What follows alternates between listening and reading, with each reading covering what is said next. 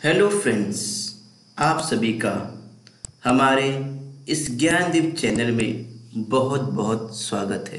दोस्तों, आज हम एक ऐसे महत्वपूर्ण विषय पर चर्चा करने वाले हैं जो बहुत ही खास है।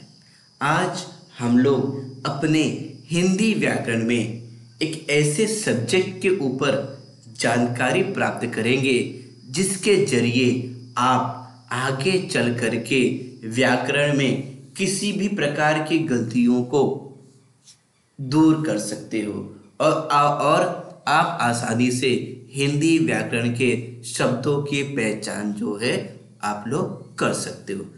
आज का जो हमारा विषय है, वो है शब्द विचार। हाँ दोस्तों, शब्द विचार।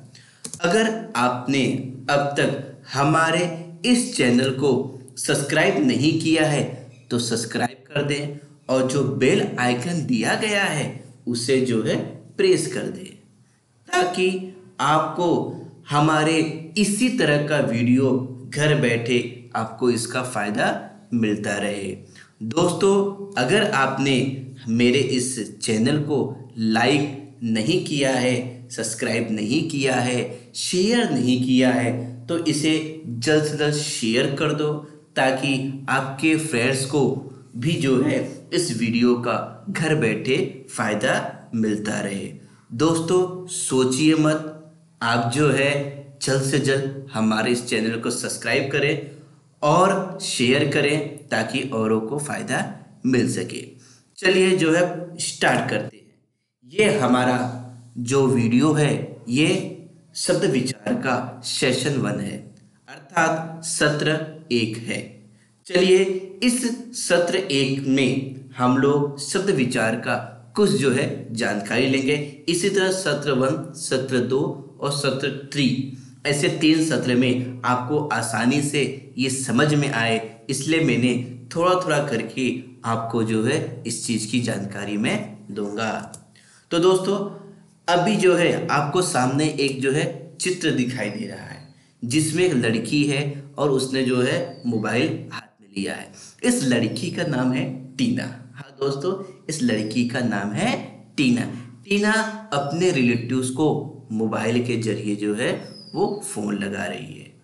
और किससे फ़ोन लगा रही है? वो लगा रही अपने दादाजी को। दादाजी को फ़ोन लगा रही है और पूछती है कि, हेलो दादाजी, नमस्ते, आप कैसे हो? टीना अपने दादाजी का, अपने बड़ों का बहुत सम्मान करती है। लोगों का वो आदर करती है। इसलिए वो हेलो बोलने के बाद दादाजी को नमस्ते बोलती है और चरण स्मर्श करती है। तो टीना काफ़ी जो है, सदाचार काफ़ी जो है और बड़ों का जो है सम्मान करने वाली है। अब टीना ने कहा, हेलो दादाजी, नमस्ते, आप कैसे हो? तो दादाजी ने उन्हें जवाब दिया अच्छा हूँ बेटा, और तुम कैसी हो?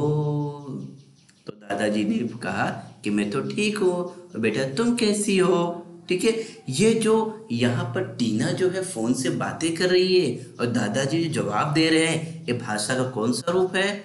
ये भाषा का मौखिक रूप है। हमने जो है, लास्ट वीडियो में हमने देखा था कि भाषा के दो रूप होते हैं, एक मौखिक और दूसरा एक लिखित। मौखिक जो मुँह के द्वारा या बोलकर अपने भाव जो है प्रकट किए जाते हैं, वो मौखिक के अंतर्गत आते हैं। और अगर उसे लिखकर जो है, लिखकर अगर पढ़ा पढ़ा जाए, समझा जाए तो लिखित के अंतर्गत आता है। अब यहाँ पर टीना क्या कर रही है? टीना जो है मोबाइल से फ़ोन करके मौखिक भाषा का जो है मौखिक भाषा के रूप का जो है वो यहाँ पर प्रेजेंट कर रही है। मौखिक भाषा के आधार पर जो है, अपने भावों और विचारों को दादाजी के सामने पहुँचा रही है। अगर मान लो, टीना ने दादाजी को व्हाट्सअप किया, हाय दादाजी, आप कैसे हो? तो वो कौन सा रूप होगा बच्चों? वो जो है, भाषा का लिखित रूप होगा, क्योंकि वो लिख करके दादाजी को भेज रही है और दादाजी पढ़ के उसे समझ रहे हैं और वो भी जो है, लिखित के माध्यम द्वारा जो है जवाब भी दे रहे हैं। तो यहाँ पर ये जो आपस में बात कर रहे हैं, ये दो एक जो है एक भाषा का रूप है। चलिए अब जो हम आगे बढ़ेंगे। आगे जो है आपको स्क्रीन पर कुछ जो है वर्ण दिखाई दे रहे हैं, इसे आपको ध्यान से पढ़ लेना है और कमेंट में आप जवाब दीजिए कि आखिर ये जो है क्या, कौन सा शब्द है। हाँ तो मैं इंतज़ार कर रहा हूँ, आपने सही कमेंट किया है। ये जो है आपने जो सही, आपने जवाब जो है सही दिया है, ठीक है? अगर हम इन वर्णों को काउंट करते हैं, वो होते हैं छह वर्ण। द, ई, प, अ, क, अ। ये छह वर्ण होते हैं राइट अगर इन वर्णों को हम जोड़ देते हैं तो इस ये चित्र का जो आपको दिखाई दे रहा है, इसी, इसका ही जो है अर्थ या जो है शब्द बन करके सामने आ जाएगा। तो ये जो छह वर्ण है, इन वर्णों को जोड़ करके एक शब्द बनते हैं। वर्णों के माध्यम से, वर्णों के सार्थक समूह को, वर्णों के सार्थक समूह को हम क्या कहते हैं? शब्द कहते हैं। ये सार्थक समूह होना बहुत अनिवार्य है। अगर मान लो कि यहाँ पर प के जगह पर सॉरी द के जगह पर हम प करते हैं और प की जगह पर हम द करते हैं तो क्या होगा? पिदक। तो पीदक का कोई अर्थ निकलता है? नहीं निकलता है। ठीक है? तो अगर ऐसे अर्थ वो भी शब्द ही है। वो भी शब्द ही है। लेकिन वो अर्थविहीन है। ठीक है उसमें अर्थ नहीं है मीनिंगलेस है। तो हमें क्या करना है? हमें शब्द बनाने हैं लेकिन सार्थक शब्द होना ज़रूरी है मीनिंगफुल शब्द होना ज़रूरी है। चलिए हम एक और जो है वर्ण विच अपना जो है वर्ण देख लेते हैं। इस, इसका भी आपको जो है कमेंट करना है। एक क्या लिखा हुआ है इसे भी काउंट कर लेते हैं। ये भी जो है छह वर्ण है और पिक्चर पिक्चर देखेंगे। आपका जो है जो आपने जो कमेंट किया है वो सही है ठीक है? और वो वो है गुलाब। ये क्या है? गुलाब। वेरी गुड तो यहाँ पर दीपक और गुलाब क्या है? ये दोनों शब्द हैं। ये दोनों जो है सार्थक शब्द हैं। चलिए तो अब तक हमने क्या जाना? हमने भाषा जाना। भाषा के दो रूप, मौखिक और लिखित। राइट भाषा के बाद हमने क्या जाना? हमने जाना वर्ण। ठीक है? वर्णों के सार्थक समूह को जो है क्या कहते हैं? शब्द कहते हैं। तो वर्णों से शब्द का जो है, शब्द की रचना हुई। पहले भाषा आया। फिर भाषा को जो है, लिखित भाषा को वर्ण में, वर्ण वर्ण के द्वारा जो है, वर्ण के माध्यम से उसको लिखित रूप दिए गए। ठीक है? वर्ण को जोड़ करके शब्द बनाया गया और इन शब्दों को जोड़ करके वाक्य बनाए गए। चलिए जो है, अब जाने परिभाषा क्या है। दो या दो से अधिक वर्णों के मेल से बनने वाले सार्थक तथा स्वतंत्र ध्वनि समूह को शब्द कहते हैं। दो या दो से अधिक वर्ण के जब मेल होता है, उसके बाद जो सार्थक शब्द तैयार होते हैं, वो जो है शब्द कहलाते हैं। जैसे पुष्प, गंगा, नयन, पक्षी, खेत, गाय आदि। अब बच्चों, पद क्या होता है? ठीक है? सामने आपको एक चित्र दिखाई दे रहा है। इस चित्र के आधार पर आपको एक वाक्य बनाकर लिखना है। तो मैंने एक वाक्य बनाया है, किसान खेत में हल जोत रहा है। अब हम काउंट कर लेते हैं। ये जो वाक्य है, वाक्य में कितने शब्द हैं, इसे हम काउंट करेंगे। तो किसान एक, खेत एक टोटल जो है सेवन शब्द हैं। तो सेवन शब्द मिला करके क्या बनता है हमारा? वाक्य बनता है। वाक्य को दूसरे अर्थ में हम क्या कहते हैं? पद। वाक्य को दूसरे अर्थ में क्या कहते हैं हम? उसे पद कहते हैं। अगर यही पद, यही वाक्य अगर सही क्रम में हो तब वो सार्थक जो है शब्द कहलाता है, या शब्द सार्थक वो वाक्य पद कहलाता है। अगर हम इसको सही क्रम में नहीं लगाएँगे तो इसका अर्थ का अनर्थ हो जाएगा। इसलिए मैं सही क्रम में रखना बहुत ज़रूरी है। जैसे एक एग्ज़ाम्पल है, ठीक है? बच्चों को काट कर फल दो। कैसा गलत? सही क्रम में नहीं है। बच्चों को काट कर फल दो। फल को काट बच्चों इसका सही क्या होगा? सही होगा, फल काट कर बच्चों को दो, या बच्चों को फल काट कर दो। तो इस तरह जो है, सही क्रम में रखना हमें बहुत ज़रूरी है। चलिए, पद का हम परिभाषा जान लेंगे। पद शब्द पद शब्द को जो वाक्य में पिरोया जाता है तो वह पद कहलाता है। वाक्य में आने के बाद शब्द व्याकरण के नियमों नियमों में बंध कर कार्य करता है। फिर उनकी, फिर उसकी स्वतंत्रता समाप्त हो जाती है व्याकरणिक नियमों के कारण कई बार इसका रूप बदल जाता है। हाँ बच हाँ हाँ बच्चों तो इसका जो है नियम बदल जाता है। जब शब्द वाक्य में जुड़ता है तो वो व्याकरण की दृष्टि से उसमें कई बदलाव, कई चेंजेस आ जाते हैं। जैसे बच्चा हंसता है, बच्चे हँसते हैं तो एक वचन और बहुवचन व्याकरण दृष्टि से इसमें बदलाव आ गए हैं। तो ऐसे ही शब्द जो है वाक्य में जब जुड़ता है तो उसमें जो है वाक्य, व्याकरण की दृष्टि व्याकरण के नियमों के अनुसार उसमें जो है बदलाव होते रहते हैं। चलिए अब जानेंगे शब्द के कितने वर्ग हैं, कितने भागों में से बांटा गया है। इसे जो है चार भागों में बांटा गया है। पहला है उत्पत्ति या स्रोत के आधार पर, दूसरा है बनावट या रचना के आधार पर, तीसरा अर्थ के आधार पर, और चौथा है व्याकरणिक प्रकार के आधार पर। तो तो हम लोग जो है इसे एक एक करके जो है समझेंगे, इसको हम एक एक करके जो है जानेंगे। तो पहला उत्पत्ति के आधार पर या उत्पत्ति या स्रोत के आधार पर। तो इसे भी समझने के लिए इसे जो है कम से कम पाँच भागों में जो है बांटा गया पहला, तत्सम शब्द, दूसरा, तद्भव शब्द, तीसरा देश शब्द, चौथा, विदेशी शब्द, और जो पांचवा है वो है संकर शब्द। अब हम एक एक करके इन पाँचों भेद को जो है जानेंगे। तो पहला तत्सम शब्द। सामने आपको एक चित्र दिखाई दे रहा है।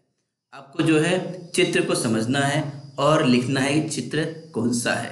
आपने जो कमेंट किया है, बहुत सही है। ये चित्र है सूर्य का राइट तो सूरज जो है, ये सूर्य जो है, सूर्य कौन सा शब्द है? हिंदी शब्द है कि संस्कृत शब्द है? आप कमेंट करके बता सकते हैं। आपने जो कमेंट किया है बहुत सही है। ये जो है, सूर्य संस्कृत शब्द है। सूर्य जो है, संस्कृत शब्द है। तो इसका परिभाषा क्या होगा? परिभाषा होगा, संस्कृत के वे शब्द जो अपने मूल रूप में हिंदी में आ गए हैं, उसे कहा जाएगा तत्सम शब्द। जो संस्कृत शब्द, जो संस्कृत में से, जो शब्द संस्कृत में है, वही सेम टू सेम हमारे हिंदी में आ गए हैं, उसे कहते हैं तत्सम शब्द। उसे क्या कहते हैं? तत्सम शब्द। चलिए, अब चलेंगे दूसरे, जैसे विद्या, घृत, रात्रि, सर्प, दुग्ध, कीट आदि। चलिए, अब जानेंगे तद्भव शब्द। आपको जो है एक चित्र दिखाई दे रहा है। आपको जो है कमेंट करके बताना है कि इस चित्र को जो सामने आपको दिख रहा है, संस्कृत में इसे क्या कहेंगे और इसे हिंदी में क्या कहेंगे? आपको कमेंट करके बताना है। चलिए, आपने जो आंसर दिया है, बिल्कुल सही है। संस्कृत में इसे गृह कहेंगे और हिंदी में इसे घर कहेंगे। गृह इस संस्कृत शब्द है, अर्थात ये तत्सम शब्द है। और घर, ये इसका जो है, हिंदी में बदलता रूप है तो वो तद्भव है। तो आप समझ गए होंगे कि तद्भव अब क्या होता है। तद्भव संस्कृत का बदला हुआ रूप है, संस्कृत का जो है, जो परिवर्तन आ गया है जिन शब्दों में, उसे जो है तद्भव रूप कहते हैं। इसका परिभाषा जान लेंगे। संस्कृत के वे शब्द जिनका रूप हिंदी में आते आते बदल जाता है, वह तद्भव शब्द कहलाते वो हिंदी में आते आते बदल जाते हैं। कुछ और एग्ज़ाम्पल हम देख लेते हैं। जैसे सर्प का सांप, कीट का कीड़ा, हिंदी में ऐसे शब्द काफ़ी जो है प्रचलित हैं। कुछ जो है अन्य शब्द यहाँ पर दिए गए हैं, आपको पढ़ लेना है।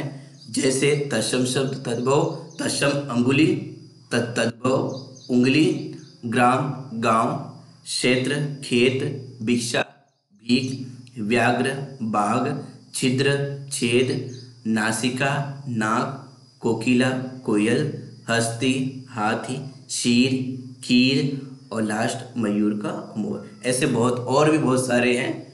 आपको इसका जो है पीडीएफ में जो है भेज दूँगा मैं।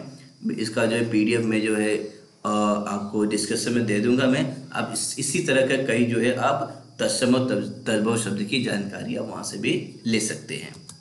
अब चलिए कुछ आपसे क्वेश्चन कुछ अभ्यास क्वेश्चन आपने बहुत ध्यान से सुना समझा इसे तो आपको जो है आप कमेंट करके इसको आंसर देना है ठीक है? चलिए स्टार्ट करते हैं। शब्द किसे कहते हैं? वर्णों को समूह को वर्णों के सार्थक मेल को वाक्य में प्रयोग किए गए शब्दों को या इन सभी को? इसका जो सही जवाब है, वर्णों के सार्थक मेल को। कौन सा शब्द तद्भव नहीं है? कुम्हार, पिंजरा, हाथी, मयूर। कमेंट करके आपको आंसर देना है। इसका आंसर है फोर्थ वन, मयूर, क्योंकि मयूर जो है संस्कृत शब्द है, इसलिए वो तद्भव नहीं है। चलिए, थर्ड वन, तद्भव शब्द किससे कहते हैं? जो संस्कृत से कुछ बदल कर हिंदी में आते हैं, जो हिंदी से कुछ बदल कर संस्कृत में आते हैं, जो विदेशी भाषाओं के लिए आते हैं। जो दो भाषाओं से मिलकर बनते हैं। इसका सही आंसर है फ़र्स्ट वन जो संस्कृत से कुछ बदलकर हिंदी में आते हैं। फोर्थ वन उत्पत्ति के आधार पर शब्द के कितने भेद हैं? मैंने आपको बताया था उत्पत्ति के आधार पर कितने भेद हैं। उत्पत्ति के आधार पर इसके जो है, दो, तीन, पाँच या चार। इसका इसका सही जवाब है पाँच। उत्पत्ति के आधार पर इसके जो है, पाँच भेद होते हैं। चलिए अब जो है आपको तत्सम और तद्भव का जो है मेल मिलान करना है, इसको, इसका जो है मैच करना है। नासिका का हो जाएगा नाग, कोकिला का कोयल, हस्ती का हाथी, शेर का खीर और मयूर का मोर। तो आशा करता हूँ कि आपको जो है यहाँ तक बहुत अच्छा था, समझ में आ गया होगा। बाकी जो है हम आगे भेदों की जो जानकारी नेक्स्ट सेशन में जो है प्राप्त करेंगे। अभी के लिए बहुत बहुत धन्यवाद। फिर मिलेंगे सेशन टू में और आगे की भेदों की जो है जानकारी उसमें प्राप्त करेंगे। अभी के लिए थैंक यू धन्यवाद।